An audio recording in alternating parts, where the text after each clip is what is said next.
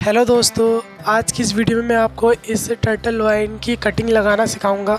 ये मैं turtle vine की कटिंग कहीं से लेकर आया हूँ और अब मैं इन्हें अपने पॉट में ग्रो करूँगा। प्लांट को कैलेसिया रेपेंस भी बोला जाता है और भी इसके बहुत ज़्यादा, बहुत सारे नाम हैं। और इसे कई नामों से जाना जाता है और ये बहुत ज़्यादा easy to grow easy to maintain plant है। ये एक संकुलेंट वैरायटी से बिलोंग करता है और ये छोटे से पॉट में हैंगिंग बास्केट में उग जाता है। और ये देखिए मैंने एक ये बास्केट ले ली है और इसके अंदर मैं इसे ग्रो करूँगा, इसका हैंगिंग बास्केट बनाऊँगा और इसको जो सॉइल चाहिए होगी वो बिल्कुल भुरभुरी और सैंडी सॉइल चाहिए क्योंकि इससे ज़्यादा पानी अपने पॉट में रोकना पसंद नहीं है। इसीलिए मैंने इसके अंदर 40 परसेंट नॉर्मल गार्डन सॉइल और 40 परसेंट रिवर सैंड और 20 परसेंट काउडन कंपोस्ट यूज़ किया है। आप इसकी जगह वर्मी कंपोस्ट भी यूज़ कर सकते हैं। और इसे थोड़ा सा मॉइस्चर पसंद है, थोड़ा हल्का सा सॉइल में नमी इसलिए आप इसके अंदर कोकोपीट भी यूज़ कर सकते हैं। तो ये देखिए, मैंने इस तरीके से फिल कर दिया है ये।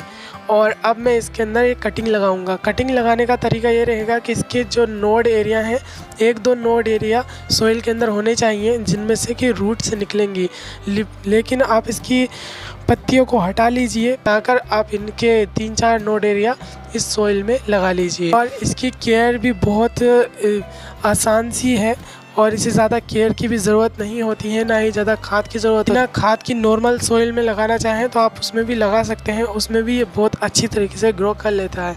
लेकिन अगर हम इसे थोड़ा खाद दे देते हैं तो ये बहुत और भी ज़्यादा अच्छी तरीके से ग्रो करेगा। और ये बहुत फास्ट ग्रोइंग प्लांट है और ये पूरा पॉट को ये जल्दी कवर कर लेगा एक महीने में या फिर डेढ़ महीने में।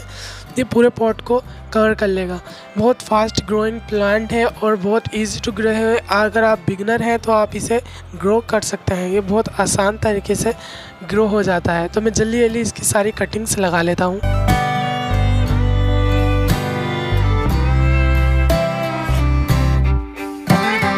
कटिंग्स लगाने के बाद अब बारी आती है इसके अंदर थोड़ी ऊपर से सॉइल डालने की, क्योंकि जितने भी नोड एरिया अगर किसी के निकल गए होंगे तो वो इससे कवर हो जाएँगे और अब हम इसके अंदर पानी देंगे। पानी आप शावर से दे सकते हैं या फिर इस तरीके से हाथ से फैला कर दे सकते हैं, जिससे कि इसमें सॉइल में गड्ढा नहीं होगा और हमारा प्लांट अच्छी तरीके से ग्रो होगा। तो बस आज की वीडियो में इतना ही, फिर मिलते हैं किसी नेक्स्ट वीडियो में।